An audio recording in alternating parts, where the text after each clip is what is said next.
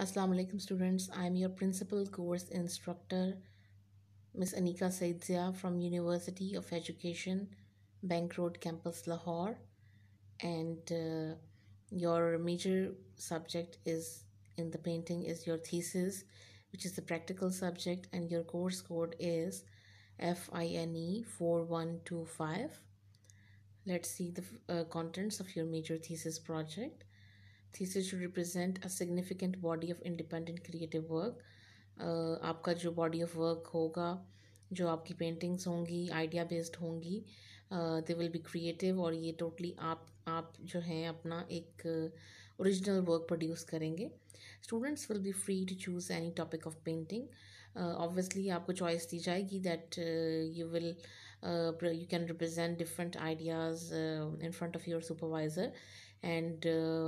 with the guidelines of your supervisor with the satisfaction of your supervisor you can choose um,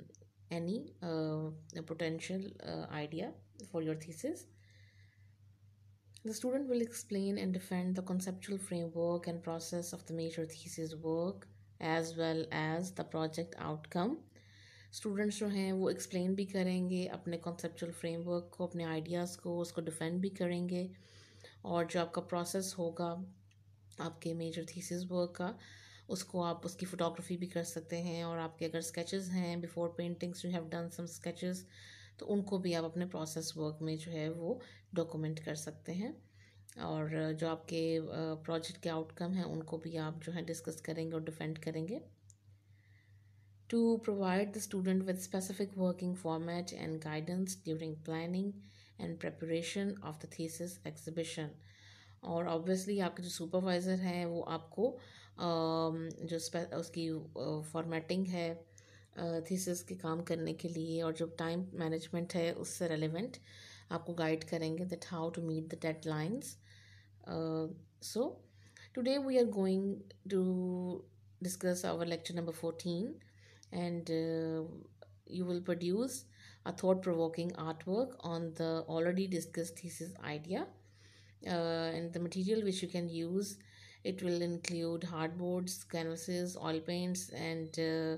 uh, any other material which you feel that it can enhance your idea or it is necessary uh, to communicate your emotions and ideas. You can include that material. And uh, you will paint a thought-provoking artwork relevant to your thesis idea and if you have shortage of material but it will be a complete idea based artwork and uh, it will be marked as well.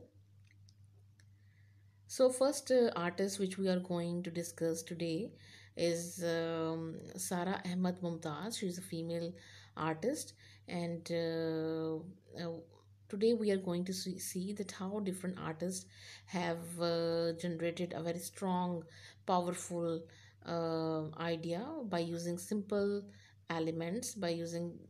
the, uh, by using daily life objects which you used to see uh, in your surroundings. So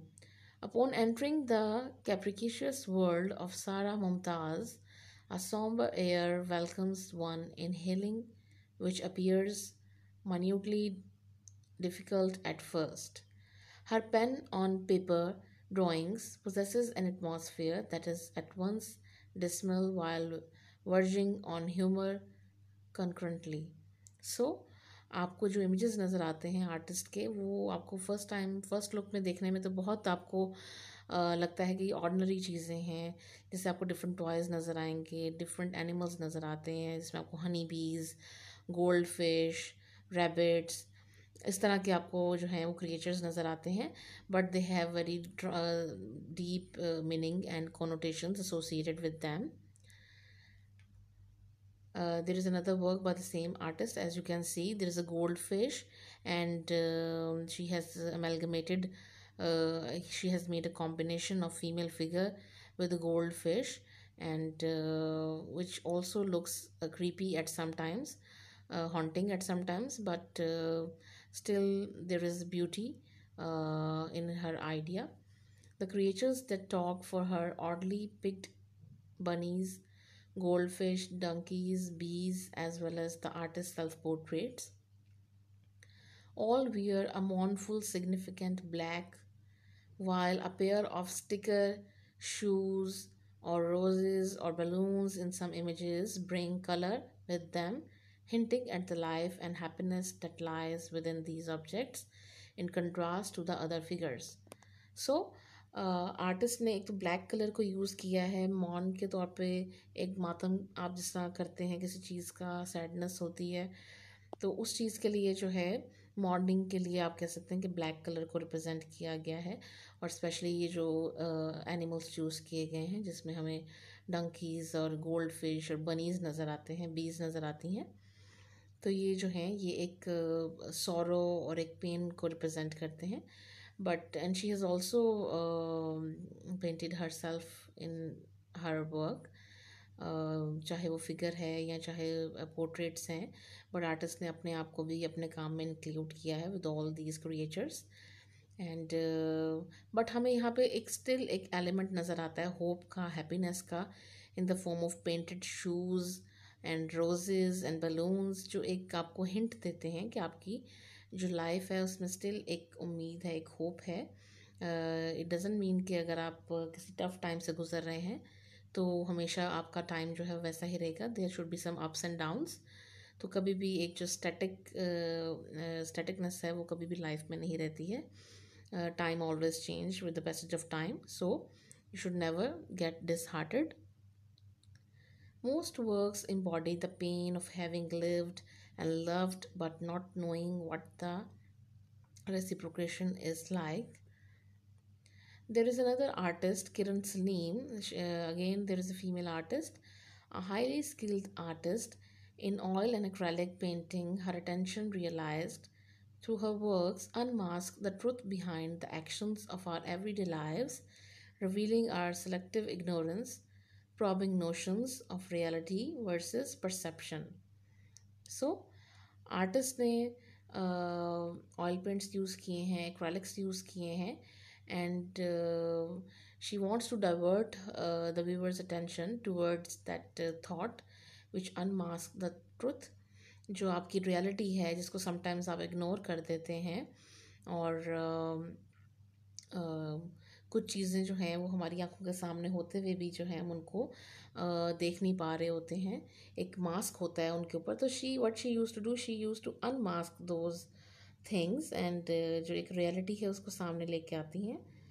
Saleem's recent exploration continue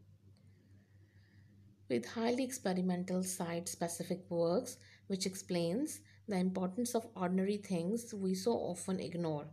So artist जो हैं, वो explore कर रही हैं। उनका काम जो है, वो काफ़ी ज़्यादा एक्सपेरिमेंटल है। As you can see there different textures और कॉम्पोजिशंस और जो कॉम काफ़ी कॉम्प्लिकेटेड जो हैं, वो ट्रीटमेंट उसका लग रहा है कॉम्पोजिशंस का। और उसका एक पर्पस है, इस टेक्निक को यूज़ करने का दैट कि जो हम ऑर्डनरी हमारे आसपास जो आम चीज़ें हैं, हम उनको इम्पोर्टेंस नहीं देते हैं और उनको हम इग्नोर कर देते हैं। तो ऑर्डनरी चीज़ों के साथ ही आर्टिस्ट ने अपने इमेजेस को क्रिएट किया है as you can see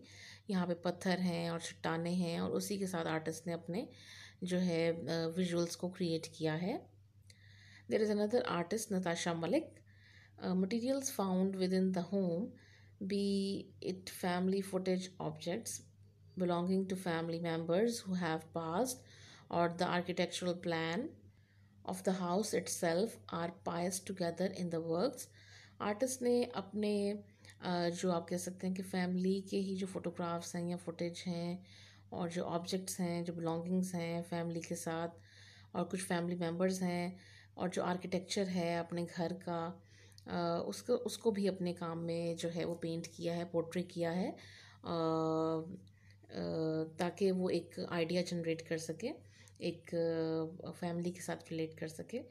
In combination with the female form or symbolic references to it, space and its confines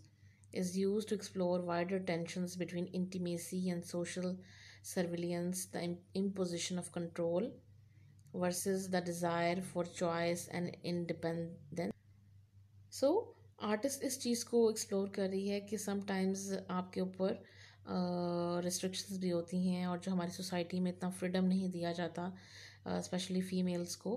घरों से बाहर जाने के लिए। तो उस तरह के आइडियाज़ को, उस तरह के कुछ रिस्ट्रिक्शंस को और कुछ कंजर्वेट जो है कंजर्वेटिव अप्रोच को जो है आर्टिस्ट ने अपने पेंटिंग्स में एक्सप्लोर करने की कोशिश की है।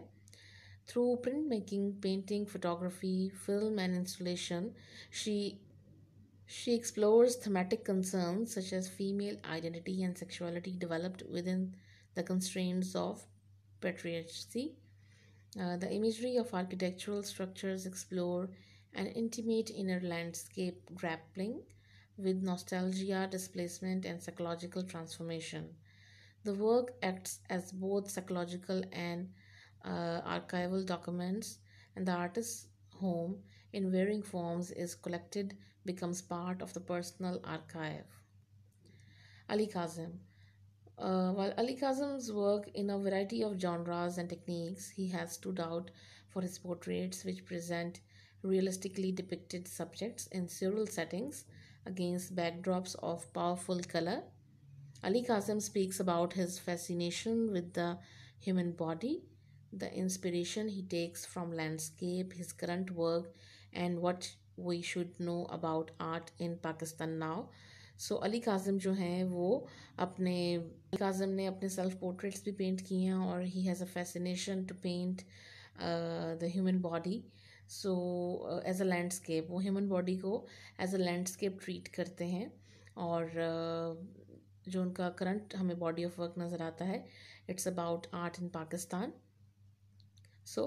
this is the end of today's topic I hope आपने अंडरस्टैंड किया होगा about the about the conceptual artwork and uh, you will uh, do your given assignment and it will be marked as well. Thank you.